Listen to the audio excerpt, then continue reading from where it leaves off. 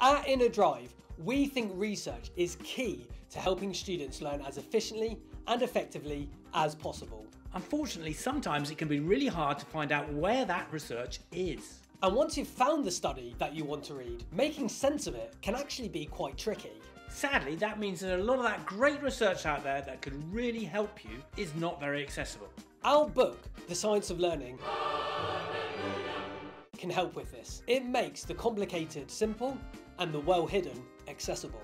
Our second edition is jam packed with even more summaries, tips, and classroom applications. It covers everything you might want to know about mindset, memory, and metacognition. It also covers teaching behaviours, parental decisions, and thinking biases. So, what are you waiting for? Order your copy now.